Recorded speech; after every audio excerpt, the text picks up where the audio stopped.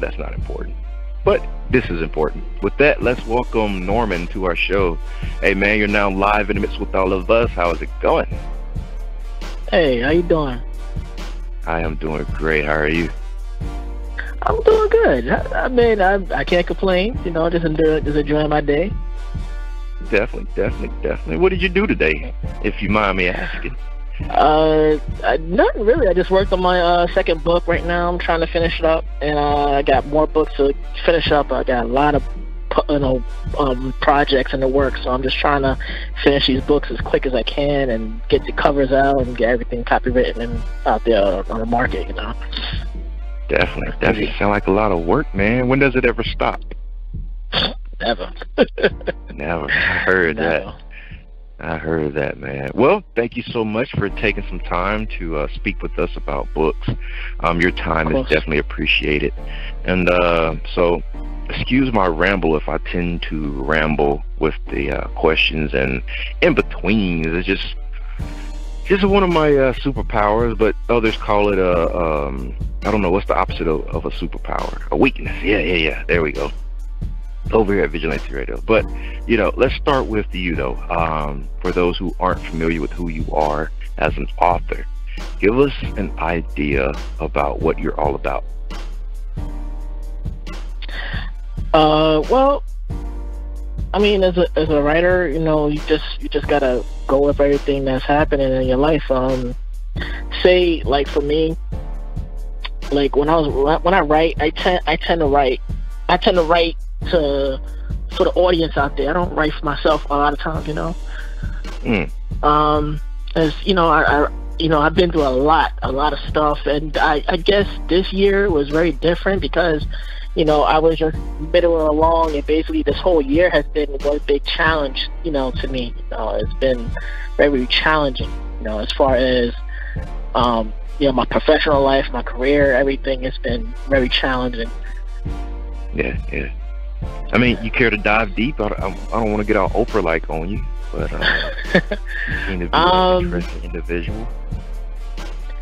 I mean, I've been, man, I've been going through going through the motions where I, I was working for the government for ten years. Then I I had um, a uh, incident where I fell into a coma. I was sick. Like, the whole the whole time, yeah, I was working at my job, and my job is like it's very stressful and I was getting sick, but I didn't know exactly what I was sick with, and I and, and I was being late. I was like calling out sick to work and calling out sick and, and just relaxing, trying to calm my body and get everything under control. And they, then one day, um, this year about um, once like what May, they drunk on me, like what in May, May August, what right like right before summertime.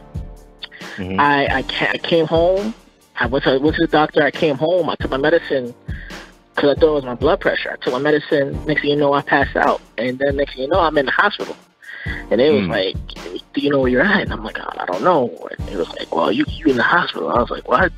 Yeah, I couldn't breathe and everything. My throat was killing me. And it was like, "Oh, you've been out for like a week." And I was like, "What? I was in a Whoa. coma?" He was like, "Yeah." And he was like, "You almost died. Your sugar was out of control." Like you like people in your condition would be dead, you know, but you you didn't die, and I was like, okay, and wow. I was like, thank God, okay, you know, my whole family was like bugging out because they was like, oh man, you, you know, they was like, they was like, oh man, we had to buy medicine, and you almost died. Then I got out the hospital after after like a good week. I had to like my body had what's the word? Uh, they had to put me on a, a, liquid diet while I was in the hospital. I had like the stuff fed into my veins, and my blood sugar was taken like every day. And I had to get out the hospital. I was mad weak. I couldn't walk. I was could barely walk. I could move. Like the muscles, the muscles had to grow again. So I was staying mm. home. I was staying home. I stayed home. For, I stayed home for like over the summer, like basically June, July, August. Like the whole three months, I was like in in my just my house trying to like work, my, get my muscles back to work in order. So I went back right. to work Next thing you know, I go back to work and everything is okay. I got my sugar under control. Uh, you know, the doctor was like, "Oh, you're diabetes, a type one, like 1.5, and not type two yet." He was like, "Cause your kidneys, like my kidneys was shut, my kidneys shut down, and my kidneys healed themselves after after after everything was flushed down. and they got they got all my sugar under control." So I went back to work. I told my bosses what happened. I got all my medical documentation to cover me for the time I was sick till when I was in hospital. Next you know, everything's going well. About a month later, they was like, "Well, we have." They called me to the office. They was like, "Well, we have to, we have to have, we have to resume the the removal situation you was you was um, under prior to you being sick." So they tried to get rid of me, regardless of when I was being sick or not. So next thing you know, they came down with their like a week later. They came down after after I got my union die. We talked to them. Everything seemed fine. Then a week later, they was like, "Well, we have to. Our decision is we're gonna have to let you go." So after ten years of service, no issues, no violations. I have flawless, flawless, perfect, almost almost near perfect attendance, and no disciplinary actions at all. They was like, "We have to get rid of you because." you know, your attendance as far as, you know, prior to your sickness is not not feasible for us. You know, mm. and I was like, it's it's it's, it's a BS excuse because, you know, if, as a union employee working for the government, you shouldn't be, you know, let go of some also frivolous uh, nonsense such as attendance when you're when your employee you're deaf. You know, they, but they didn't care. So I had to me and me and the lawyers up right now is um applying, uh, code, you know, to, to the appellate board, and you know, we're dealing with that. And it's a, it's a lot of, it's a lot of, what's the word? It's a lot of upheaval in my life because you know, right now I'm out of work, and my future's uncertain. You know, and when your future's uncertain and you don't know where to go, that's the worst times in your life because you, you know, uncertainty kills you. It kills a lot of your your momentum, your your your, your mm-hmm. ideas you know, and you want to move forward, and you don't know what's going to happen the next day or the day after that, or the day after that. You just have to take it one day at a time. And when I when I came out the hospital, that's what I wanted to do. I wanted to take it one day at a time. So when they got rid of me, I was mad, but at the same time, I was like, this could be a blessing. Mm-hmm. You know, I try I try to look at it like a positive, because I mean, I, I I damn near died, but I didn't die you know, I, am back. So I, I can look at it like, I can look at it like, you know, my life is over, but I can look at it like, okay, this is this is a blessing in disguise. I could, I could be on to something greater in my life. And I think that's on the what I'm doing now and the path I'm on now is, is a greater thing in life. Like I don't have to when I when when you work for a corporate entity, you get bogged down and you lose your dreams and you lose your soul. And I was kinda like that for a while. You know, I was just stuck at the same job doing the exact same thing and I just didn't I just didn't move, you know, forward. You know. So I have to look at it like it's a it's opportunities for me to move forward now, and I guess this is what the book, for me, right, me publishing with this book was about and moving forward in my life, you know. Right, right, right. Um, kind of, kind of that that push from life. That uh, I mean, did you see this as motivation once you got you know your mind back together, your body back together?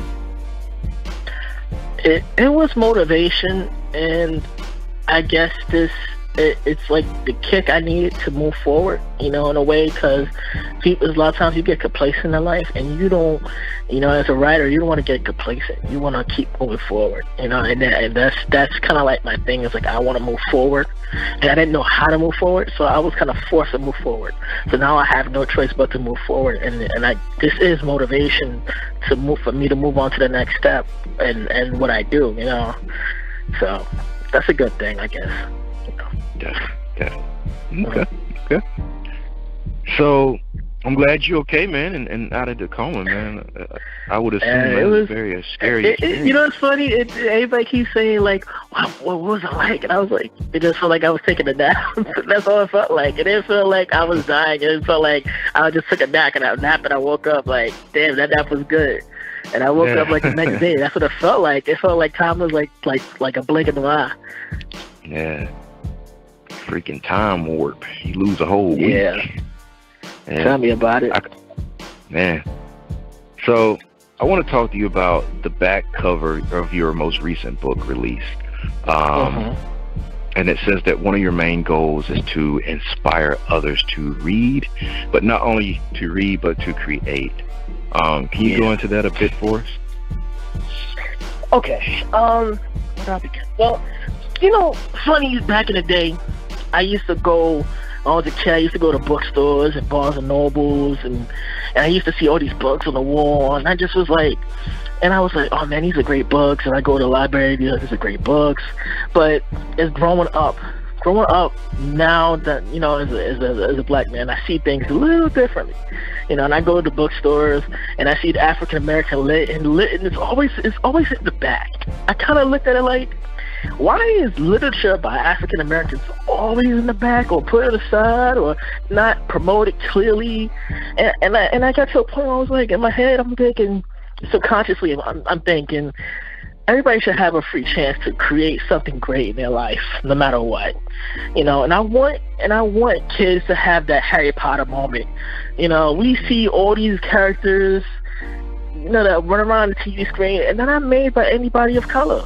They're not it's sad they're not though and i and i kind of want to be that person to to to to get over that bridge and to show people that listen our stories matter too you know and these kids out here reading these corny books and they're watching the corny shows I mean, I miss I miss shows like the Boondocks. You know, I, I love that show. Yeah. I, I really I really wish Aaron McGruder did not sell it off because he had he had he had something great with it, and and I and I and I, and I watched it for and I, and I not just to watch the show, but I watched the comic strip when it came in the Daily News.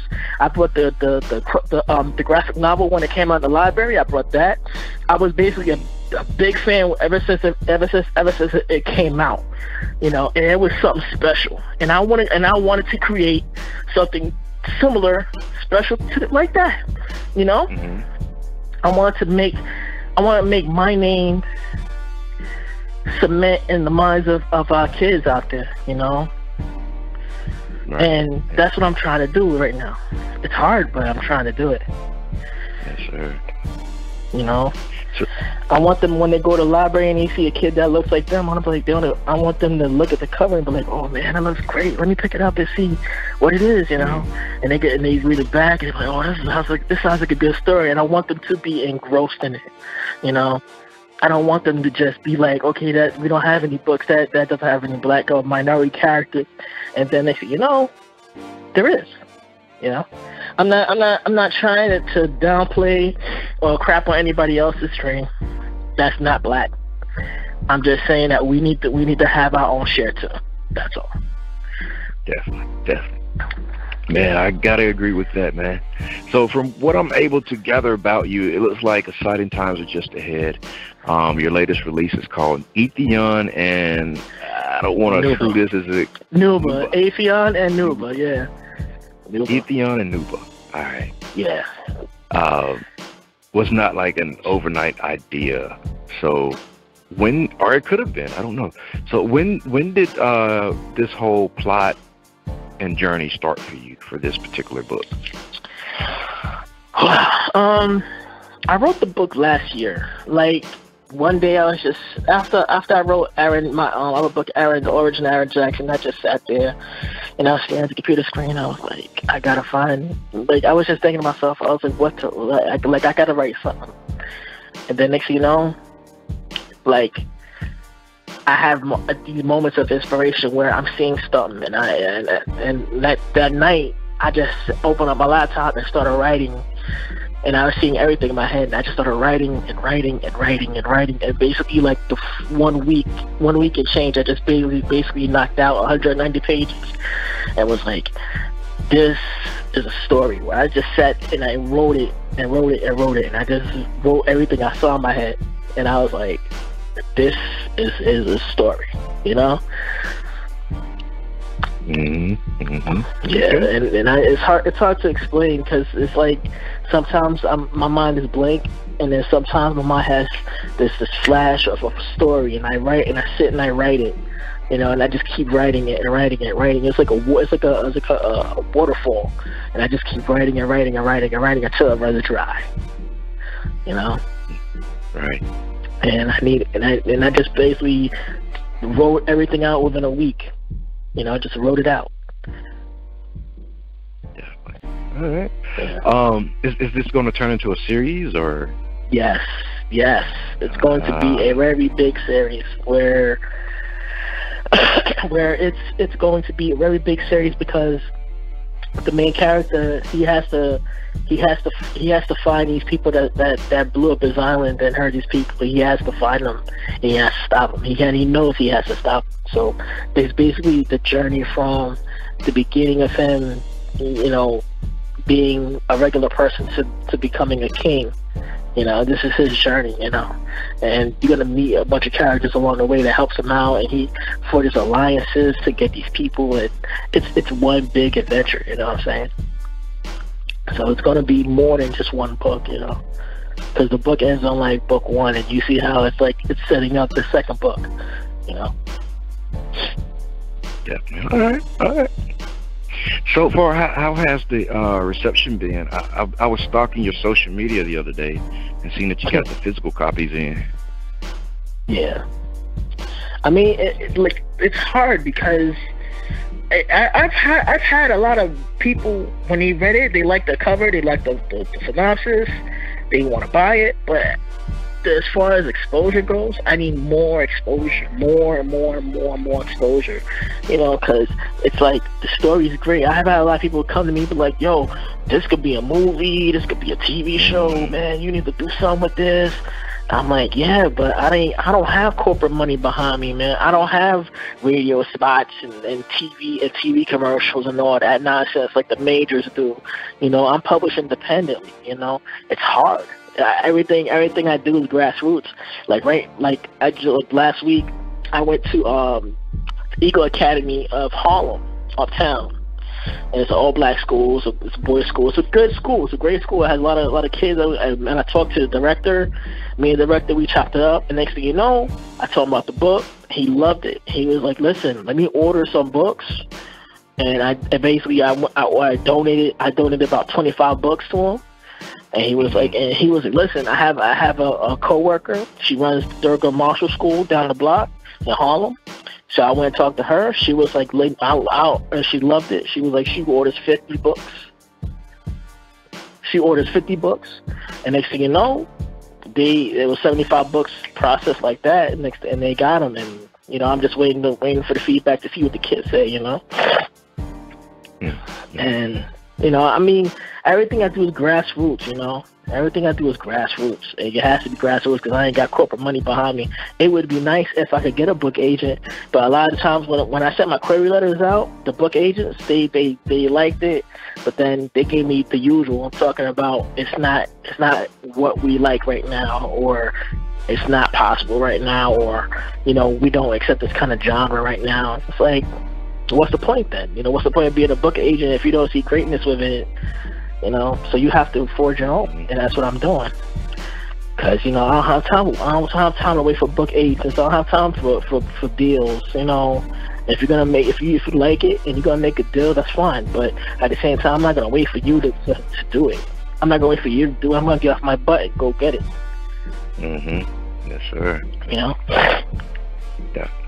Are there any mm-hmm. projects that precedes Aetheon and Nuba? Uh, yeah, I did write um, a story called The Origin of Aaron Jackson, mm-hmm. and it was a great book, but I had to take it down for um, a rewrite. As far as when I when yeah, it, it needed a, it needed a little bit of a rewrite because the uploading process kind of messed up the the grammar structure. So I have to I have to sit down and rewrite it, and I'm gonna republish it probably back in January.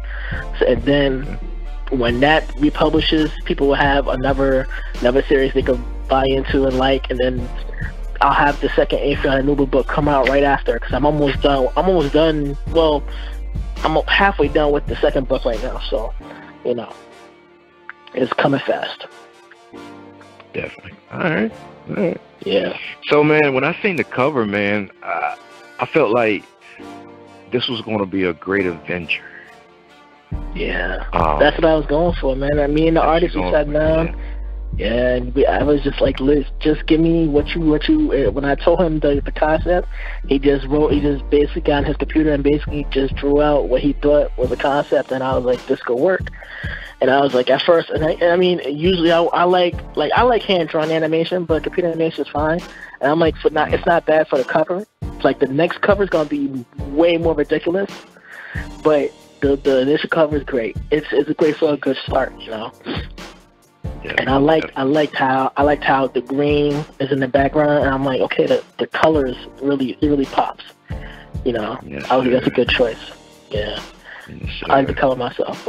So, so is Aetheon um, a runner a runaway prince or an underdog that lives in the jungle? What's his background? nah, he's he's not he's not a runaway prince. He's not he's not he's not really a, well. He's he's kind of he's well. It's hard to explain because in the beginning of the story, um, Aetheon is a young prince. He's like when you first meet him, he's like 13, 14. and you know basically he's royalty but he doesn't he doesn't kind of want to be royalty at the at, at the beginning because he's like he just wants to be a regular person, you know. And his and his tribe is like a, a bunch of um, warrior monks where they have this huge tribal society where they ride animals and they're very eco-friendly. And he's kind of like kind of like he and they do magic, but he doesn't want to be king. He he's kind of like he's kind of like on the on the fence to being king because it's a big responsibility. So he's kind of like you know why don't I just be like a regular guy, you know? But then one day when he's pondering that that idea, the island is attacked by these uh, druids, and these druids they come in and they steal this this device from them that they use to, to communicate with the animals, and basically they they slaughter like half the population of the island. The island came, but basically they like uh, Aetheon and Nuba escapes the island with um their caretaker. So then the father dies, the father's lion dies, and the mother mother is like presumed dead, where she she dies protecting the son. And then next thing you know is a jump forward about seven years later where Aetheon is now like kind of like an uh, early young adult, 20 like 21, 22, and he's kind of like he has it. He his the survivors all rallied behind him, where he built like a merchant um, shipping vessel because right now the age is like an industrial age. Like right before the industrial age it's kind of like in a pirate age now. So he builds like a, uh, a shipping um, textile company where they deliver goods, and he basically is on on the on the on the slide though. It's like a spy network where he has he has he's still he's still hunting the people that's out there that stole that stole the device from them. So he has a, a idea to hunt them, but he built a spy network consisting of the merchant ships where they deliver information back and forth from port to port, finding out where these people came from, getting artifacts, weapons, whatever they need. So then one day he gets a letter staying in the mail that, yo, they found them. So then he's like, okay, we're going to go after these guys. We're going to go get them. And then that's when the adventure really kicks off, you know? Right. Okay. Yeah. And the backstory of the uh, lion? I mean, uh, yeah. N- Nuba? Nuba, yeah, yeah. Nuba is like a lion. Yeah, he's a, he's a rare black lion. He's a genetic um uh, black lion. Usually lions aren't black, so he's like the first of his first of uh, you know his kind or whatever. So his father's a white lion, albino white lion, and basically they the device that was taken from them uh, off the off the tribe of Aliyah. It basically bonds the animals with with the human host, and they share a joint consciousness where the human gets lion like gets like cat like powers, but the lion gets human intelligence, thought, ideas. Like they, they form they form of uh, a telepathic connection where the lion is the lion can actually speak. The lion is not stupid; it's very smart. And like you, when you can say something to it, and it'll fully understand you. You know, but only the person who's the host, and who's the host, and who has the link between the lion and the person can understand their thoughts. So, and they speak to each other. So, you know, they work it. They work in like a tag team type type type deal, where you know, if if if Aetheon would say something to Nuba, Nuba will do it, and Nuba will say something to Aetheon, and he'll he'll know what he's what he's thinking. You know, so they work in a tag team. But it's a great it's a great um concept. But on the flip side of that is that if if one of them gets hurt, the other one gets hurt. So Ooh. they they share they share not just a consciousness but a soul at the same time. They share a, a double soul. So if one of them gets killed, they have they, the other one who's left remaining shares a half life. So it's imperative that they stick together as far as them living long. You know, they have mm-hmm. to protect each other's backs. You know, and the whole tribe was like that. You had the tribe of the lion the lion riders who the, the lion riders basically was the father who was the who was the king. And basically you had like the lions you had tigers the the, pam, the panthers and the pumas. And basically the whole each uh, each tribe had its own type brand lion that they rode they rode into battle. Because these aren't these aren't ordinary lions. They're ordinary animals. They're big. They they grow huge. So they could wear armor.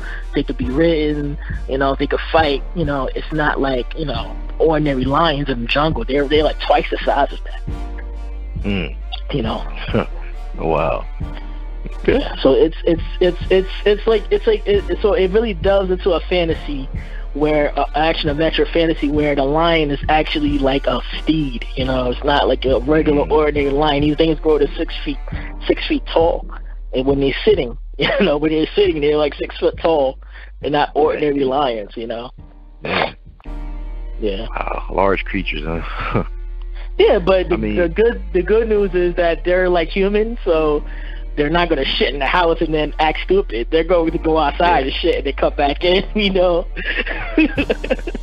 like if if if they need if they if the like like like in the uh, certain part of the story where where Nuba is telling Aetheon, he's like, listen, you gotta get over your last girlfriend, man. He's like, listen, I know you still thinking about her, but he said you need to move on, man. And then Aetheon brings a girl to the house, and the girl doesn't believe believe him about about being an Aaliyah, Alien, because it was a myth. The island, everybody thinks that the the aliens, the lion riders, was a myth. So the girl is basically goes downstairs to like leave, and then she sees the lion and freaks out. And the Aetheon was like, "Yo, are you okay?" She was like, "Why is he? Why is he sitting there like that?" He, and the dude was like, "Hey, I think you probably got some." Hmm. Mm-hmm. so it's, a, it's, a, it's like a hilarious conversation between between Nuba and Aetheon, but it's funny because in the story, Nuba is the comedic relief in a way, and Aetheon is like the straight man. So it's it's just hilarious, you know. And they have like a real good friendship vibe to them, you know. Right, right. All right. So my listeners know I wouldn't feel like I was doing my job if I didn't completely absorb everything about you. Uh, mm-hmm. So sometimes I do notice some strange stuff on these internet pages, and while I was doing my research, um, you have a lot of hats. And there's also one more thing that we have in common. I'll mention in just a second. But uh, you're a creative being. You're a writer, novelist, entrepreneur, podcast host, co-creator of a podcast, CEO of your own company. That's quite. Yeah, that I'm trying to. I'm really, really trying to get off, get that off the ground. You know, that costs a lot of money though. So, yeah. The uh, the company. Yeah, Vulcanite Media. I'm really trying to get that off the Vulcanite ground. You know, as far as everything. Yeah, Vulcanite right. Media. I mean, so I, I, I, have to. Yeah. Oh, go ahead. Go ahead. I'm sorry. No, I'm saying that it's it's still it's still in the beginning phases where I have the logos and the copyright and the trademarks. I have everything done. I just need the money right now, the financing. As far as everything gets off the ground, and everything I, can start doing interviews and doing big things. You know, but you know, it's it's a long way off. It's just the beginning. Right on. Right on. Mm. So when you, when you say a media company, what what all does uh, your company do? Well, as far as a media company, like I want to, I want to, I really, really, really want to get into animation. Like mm-hmm. that's the next step as far as the books go. Like as far as when the if the books do really take off, then I want to step into animation where I do have um uh, I have like you know the Aaron Jackson series. I can animate that, and if you don't know about, I animate that. I really, really want to get into animation. That's the next step, major step I want to do because like I think that is a great, great like level where we could reach. Where I, well, we could, you know, just anybody could reach the kids, you know, because a lot of kids, a lot of teenagers, a lot of adults like animation. Like everybody thinks it's an old misconception that everybody that oh cartoons are for kids. That's not that's not true anymore. Like they say video no. games for kids. That's not true either. You know that whole idea that cartoons are for kids. No, there's actually like if you watch some cartoons, there are mature cartoons and there are cartoons for kids. You know there's yeah. a difference between the Amazing Orange or Adventure Time and the Batman the animated series and Justice League. There is a clear difference. You know and I'm trying to get into that mode where, like, I grew up with like a lot of cartoons, a lot of anime. I really wanted to create my own anime. I really want to have my own media production company that makes cartoons and other forms of media such as comic books, you know, and comic strips and getting in that general vicinity, you know. That's the next phase I want to do. I really want to hook up with a lot of animation companies and start to start to create my own in-house type of uh, animation studio. Right on. You know, I could dig that. Yeah. Uh, I'm currently watching, uh, well, catching the fifth season of BoJack Horseman. Have you seen it? yeah, that show's crazy. Man, could you imagine that show in real life, like on a real sitcom? Like they'll be in so I don't know. It's, it's, yeah, he, yeah, the kid, the main character is wild. He's been doing some wild stuff. I'd be like, wow, this guy is wild. Yeah, man. Like it's, it's like, like Rick, I love I love Rick and Morty. Like I like Rick and Morty. Rick and Morty is the most funniest thing I've ever seen in my life. Like one of the funniest things. Like South Park is not it's not funny anymore. It has its moments, but Rick and Morty basically blows everything out the water from me. Like it's basically everything I've loved rolled up into one. It's satire, it's dark humor, it's mature stuff, and it's violent, but it's all wrapped up in a nice little ball, and you can just watch it. It's like so crazy. I have to like, check it out. I haven't watched it, but that's what everybody says. Yo, that you know. Yo, you yo, you definitely need to check it out. They really, really, really, really go off the deep end uh, on a lot of stuff.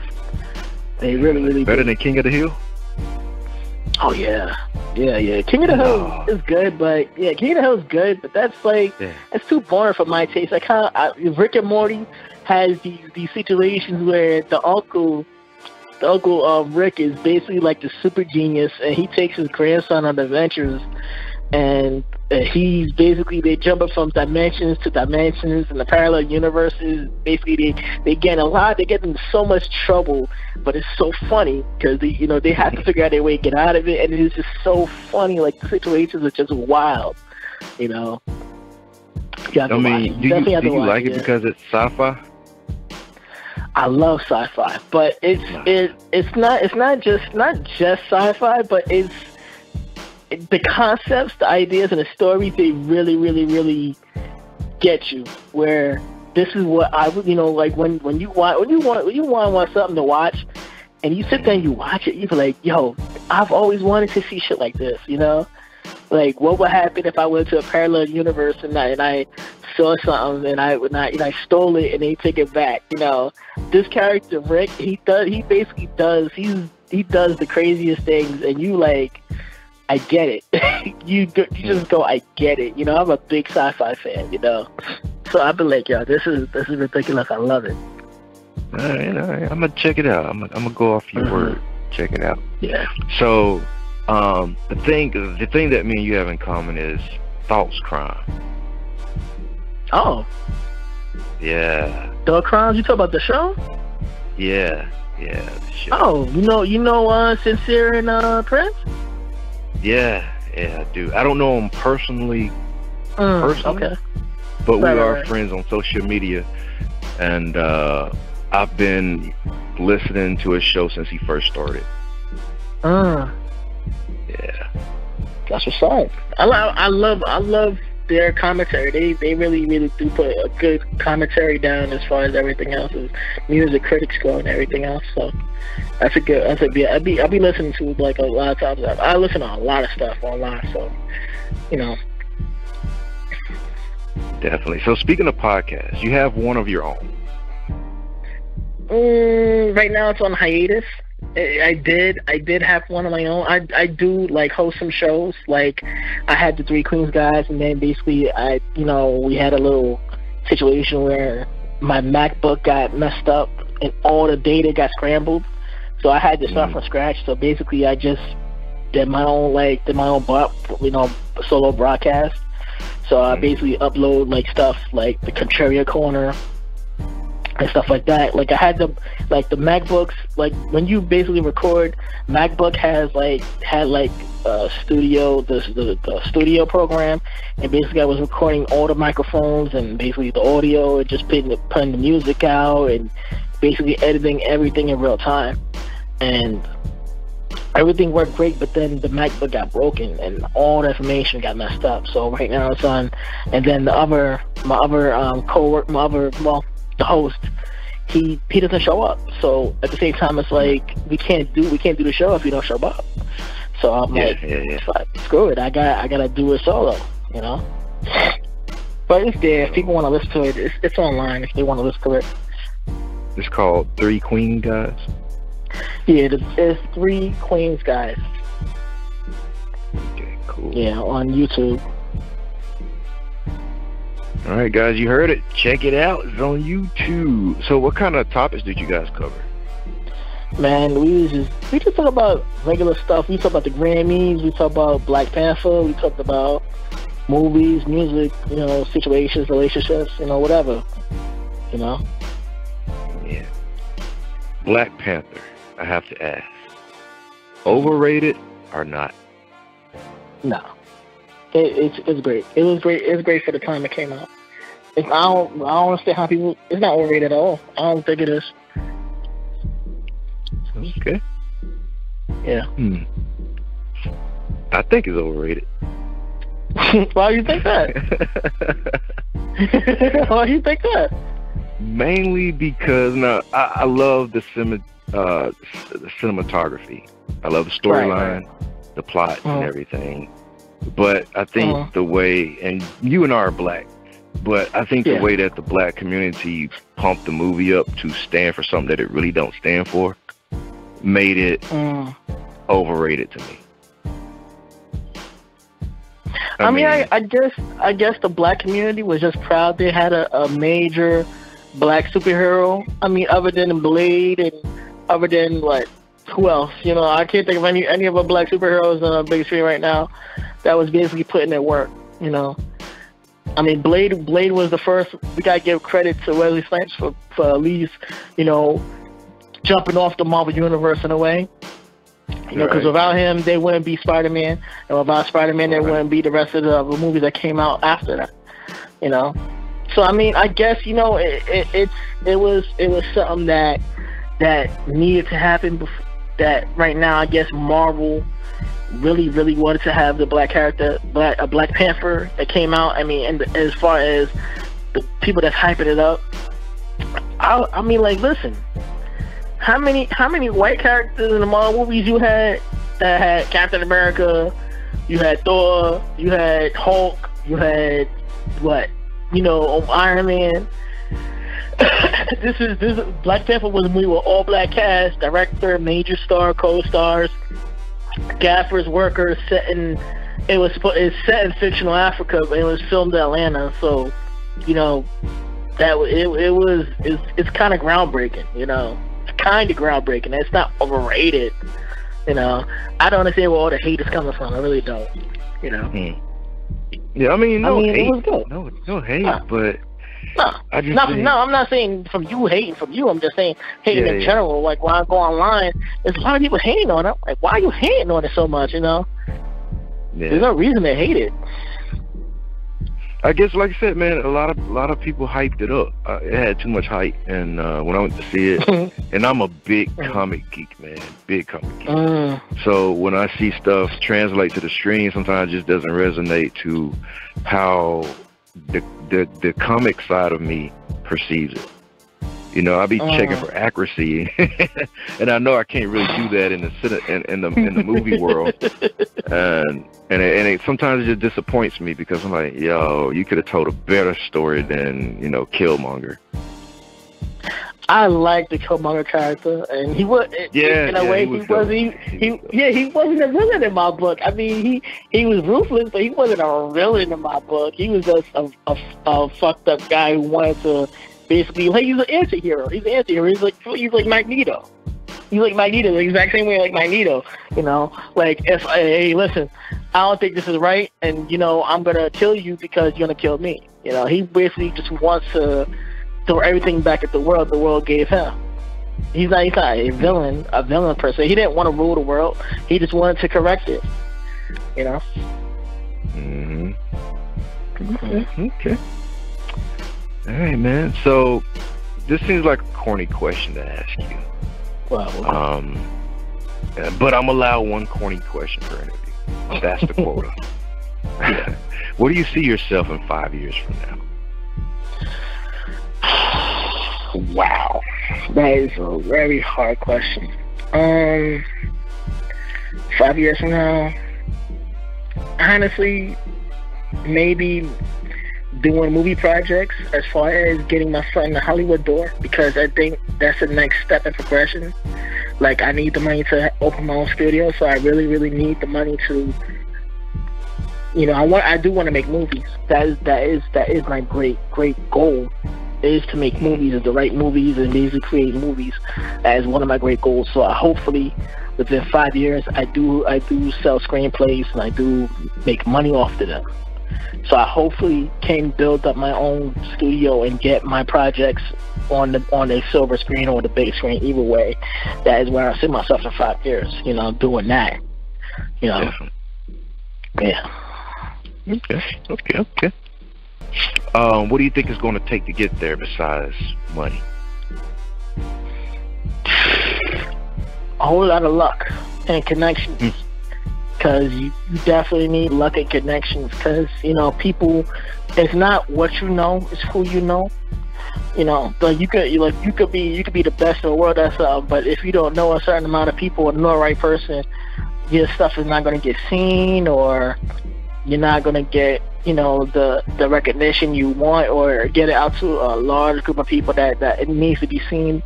You know you definitely need to know the right people you know. Definitely need to know the right people. Definitely right about that.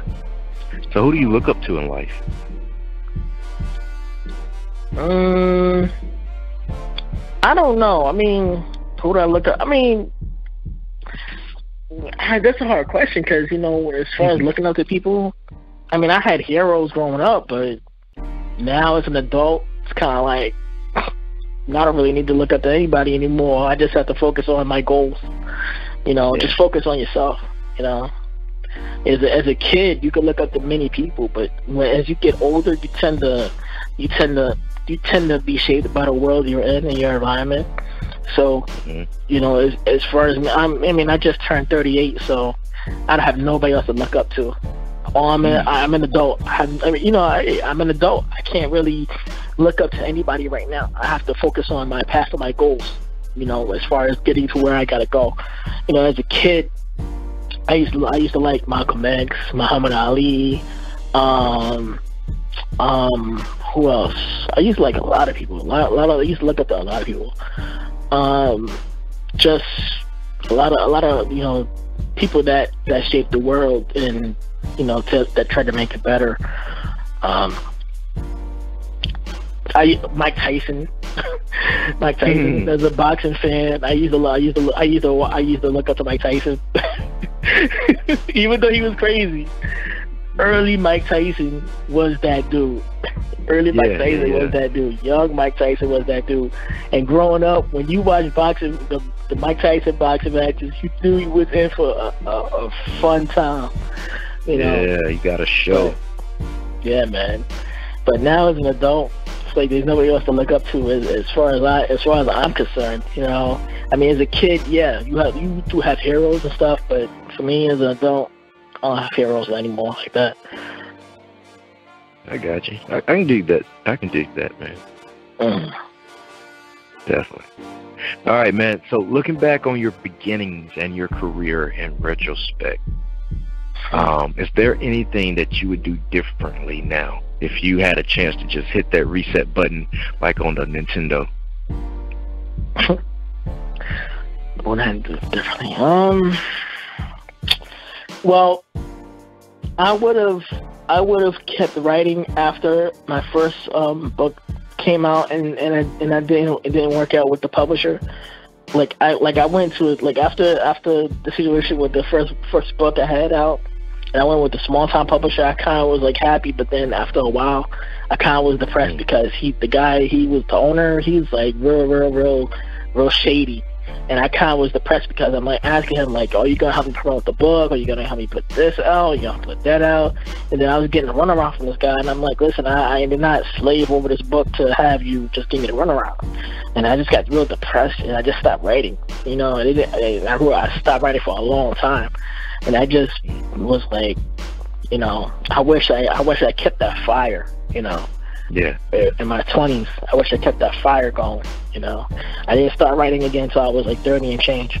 You know, so I just focused so, on work after you know, you know after that. Was was there like a hiatus um between some some of the books that you put up? Yeah, like when I was twenty, I put out my first novel, and then when the whole situation happened with him, I kind of was like, I felt, I just felt bad because I was, I just stopped writing, like altogether. Like I stopped writing. I just stopped. I didn't write for a long time, and then I had the idea of Aaron Jackson, and then I started writing again. You know, I didn't have that until I was thirty and change. You know. I got you. And it was crazy because it's like that long hiatus. It was just wow. You know. Mm. How long was it? Long time, like man, ten years. Ten years. Oh wow. Yeah. Oh, we're glad you found the fire again. Yeah, man. Me too. Yeah, man. All right, guys, after the music break, it'll be time for our usual tradition. It is called the hot seat. And our fans love this part of the segment, of course, along with the actual interview, but the audience will get a chance to hear Norman sing for us. Maybe he can sing. I do not sing. I, I don't. I don't sing. Please do not. Don't sing. sing. Okay. Okay. Okay. Okay. What about poetry? know any good poems?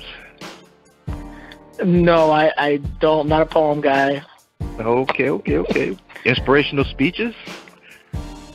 Uh, not not off the top of my head. okay. Okay. Okay. We're not gonna get the Rocky speech tonight. Okay. Uh, what about spoken word? I don't do spoken word. Okay, okay, like, okay, okay. You from New York, the the hip hop yeah. mecca? What about freestyle raps? Nah, I don't do freestyle. I don't do no, freestyle, no, no. man. Okay, nah, okay, man. okay, okay, All right. What about a live instrument? Can you play play a guitar, uh, piano? Mm, nah, drums? I I I stopped playing piano when I was a kid. Like I don't like I had theory, but I don't I didn't follow through on it. Like I never finished. Gotcha. So okay. Yeah. All right, all right. No big deal. What about jokes? I'm not a comedian either. I, I don't really know any okay. good jokes. Okay, uh, okay, okay. All right. How about a story? Um, what kind of story? Any kind of story. Like, hey, this one time I had this. uh She wasn't a sex worker, but she was like mm. the. uh I don't know if you remember. There was a period of time. Uh, I grew up in the. uh I was born in '83 grew up in the uh, 90s. And there used to be these phone numbers you could call and just listen to girls talk, like 1 800. Uh, yeah. You mean a chat so line? no, chat no, line. no. It was no, no. It was before the chat line. This was oh, okay. before chat line. This was like 1 800 uh, talk dirty.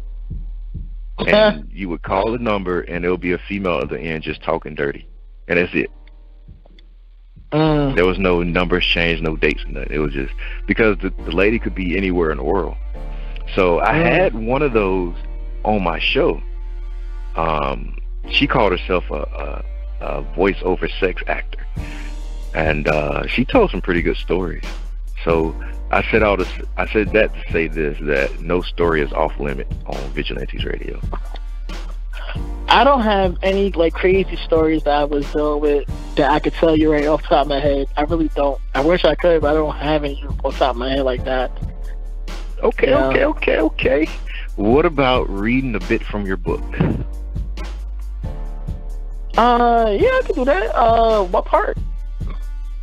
You choose. Dealer's choice. Oh man. Um. All right. I could probably read from chapter three in the beginning of the book. Okay.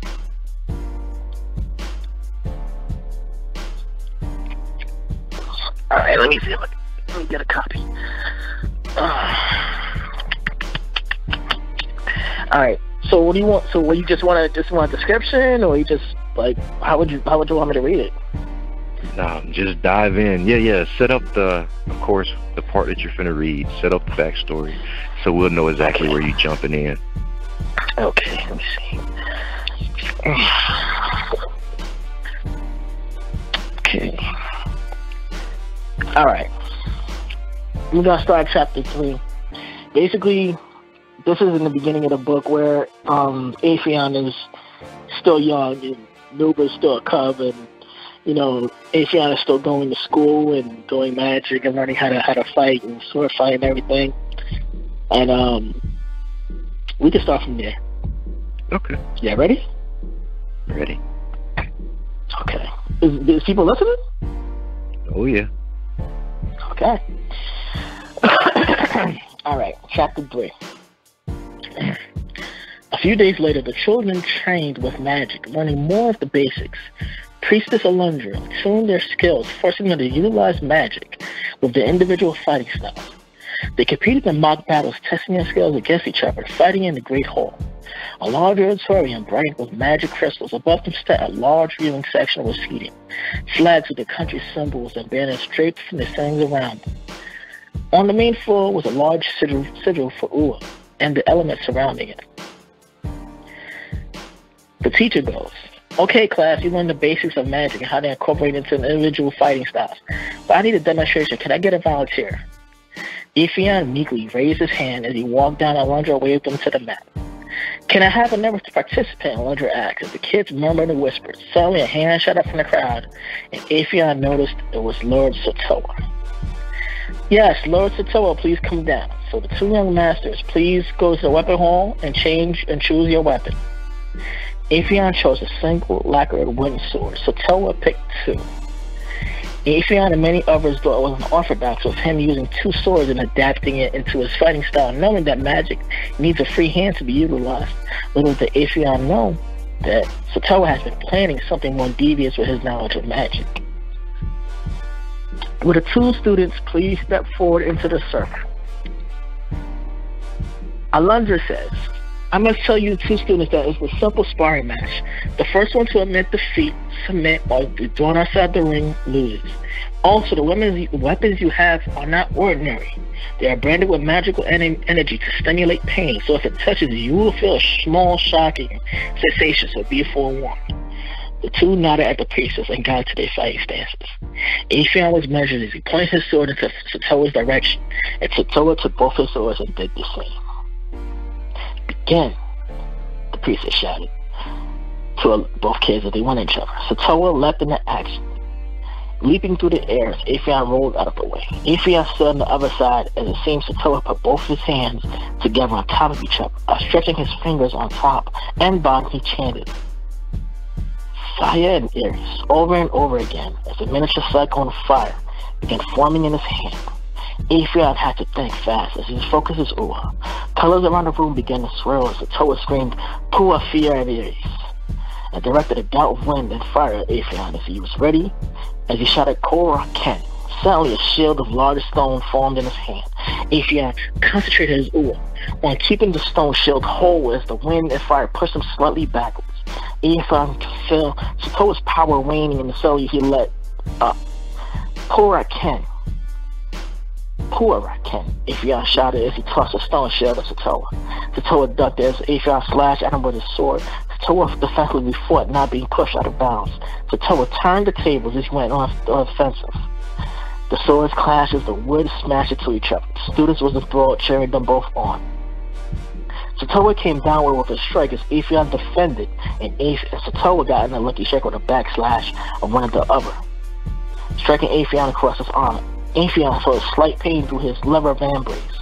Sotoa sneered viciously as he knew he got a quick and quick strike in. Then he went in on the attack, swinging at Aphrion like a wild beast. Aphrion had to defend, but also stayed inside the circle. For every hit, Aphrion defended, Sotoa was able to get close and nearly graze him. Aphrion should have trained harder. He was not prepared for Sotoa's savagery, but he needed to win. He needed to figure it out. That Sotoa, he figured out that Sotoa could match it, magic for magic, even with his hands encumbered. Aphrion had to think fast. He was fighting a vicious opponent who was more skilled than he realized. And that was beginning chapter three. All right, all right. Thank you very much, Norman. Uh, let everybody know where they can connect with you online. Okay, uh, I'm on Facebook um, under Norman R. Colson. You can just go, um, go to Facebook, put Norman R. Colson, and add me there. I'm on Twitter at the Darkest Timeline at Norman R. Colson, and I'm on Instagram Norman Colson Official. It's one word.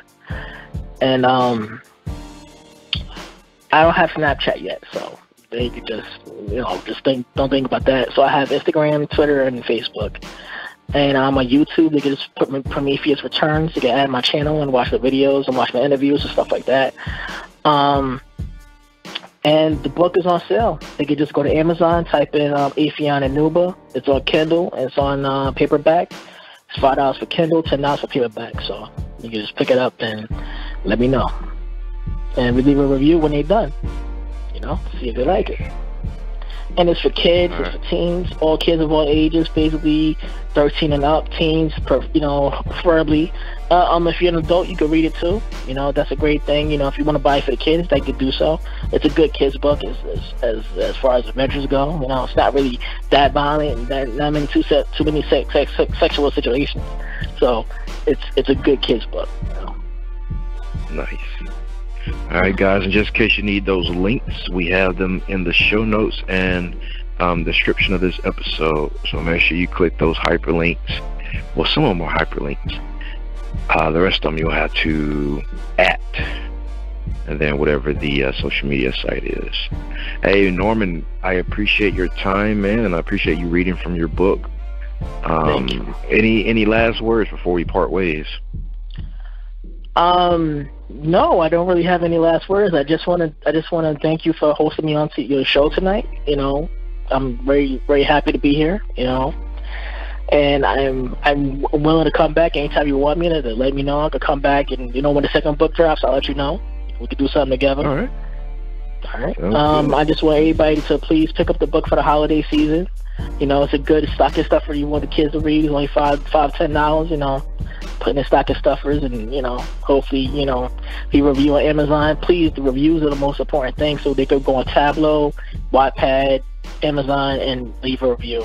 Just basically tell the world, you know, that you read it. Right on, right on. Well, thank you, my brother. We'll connect soon. All right, thanks, man.